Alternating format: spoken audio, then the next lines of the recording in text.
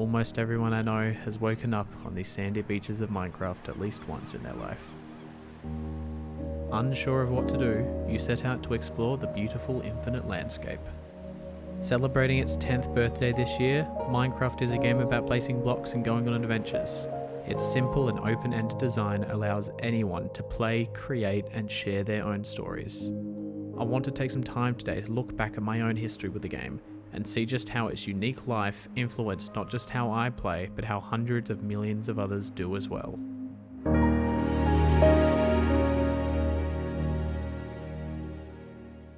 My Minecraft journey started in late February of 2010, where development versions of the game had been out for around 9 months.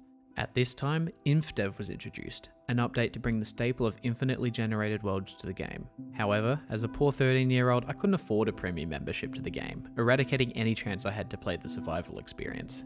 Instead, my first year of Minecraft was built around the free web based version, simply titled Classic. Classic mode was very bare bones. Within a small generated world and a very limited selection of blocks, you could build anything you wanted. Community servers started hosting lobbies where players could build together, and soon after, when Notch abandoned Classic for InDev, modded Community Classic servers started to release with new game modes. Remember some of the classic Minecraft minigames like Spleef and Lava Survival? These started here on Classic Multiplayer. I remember moving computers and laptops into the same room to play with my brother and friends, jumping from server to server on the public listings at the end of every game. But my experience with Classic would eventually come to an end though, on the day the Minecraft servers collapsed. On September 18th of 2010, Minecraft had its first of few free weekends. Anyone, not just premium players, could now play the survival mode of the game. This was my first real introduction to weapon systems, health, actual mining and crafting, but most importantly, the monsters. Very few people knew what they needed to do. The Minecraft wiki was still very young, so you still need to figure out everything yourself.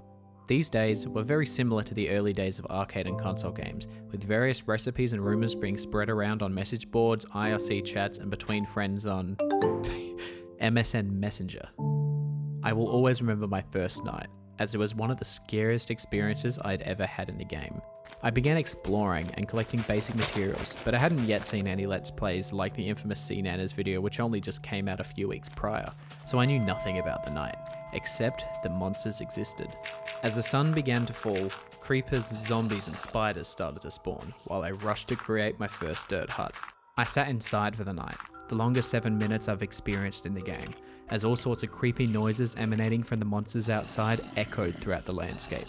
No beds existed yet, so there was no way of skipping the night.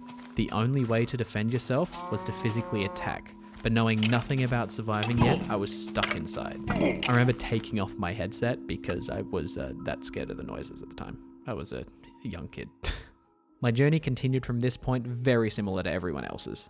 I made my first Oakwood house, went spelunking and found diamonds after various attempts, and died repeatedly to creepers, skeletons, spiders, zombies, and the like.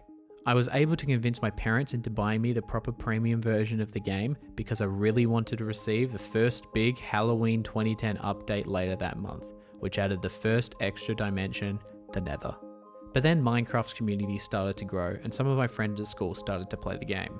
Copies of cracked clients were being passed around on USB sticks to play in our school issued MacBooks, opening everyone up to a whole new world of multiplayer shenanigans. Around this time, I started to take filmmaking and animation more seriously, so my parents helped me purchase a new laptop. But because of this, I had the old family laptop just sitting around doing nothing, and it wasn't long before I repurposed this into a 24 7 Minecraft server. Through playing on various online servers and introducing school friends to the game, I started to build a pretty decent community of friends who would always be willing to play.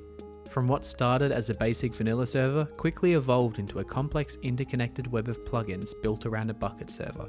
I started to host minigame parties for friends, building spleef arenas and hosting PvP tournaments, from running these manually to eventually becoming fully automated using server plugins.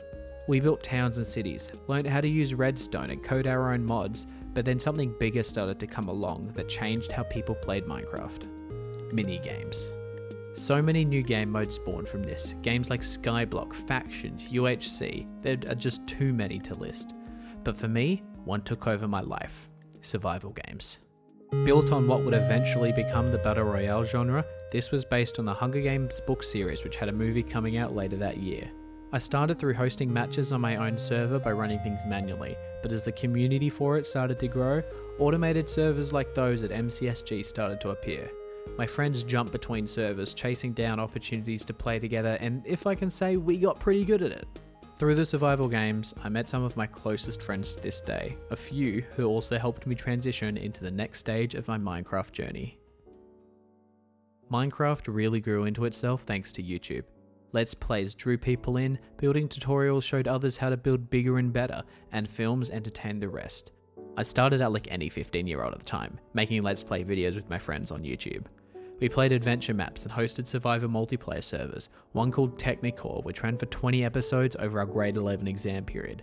You could tell we kinda didn't want to do our maths exams. But over time, I started to blend my love of making films with my friends into the game, creating what are known as machinimas as well as animations, which started to receive more and more views on my channel. And suddenly, my totally successful Let's Play career was over. Through friends, I met the one to fear, a Minecraft Machinima creator who has become one of my best friends over the years. He introduced me to the crew at Machinima Realm and at the time was producing a series for them called The Land of Madrid. We made lots of machinimas together, with me providing VFX, animations, body acting, whatever to really push them beyond what anyone else was creating at the time, including a 24 minute space epic which was actually really cool. This story leads me to me meeting Mitch, or the BajanCanadian, and producing various animated music videos that received over 100 million views and wait, am I reading this right? Debuted on the Billboard charts at number one for comedy digital and number 38 for dance electronic songs? What? This also boosted me up in the Minecraft animation community, growing enough to be able to produce a bunch of Minecraft animated shorts to premiere in that gaming show in my parents' garage on Disney XD, which was a surreal experience.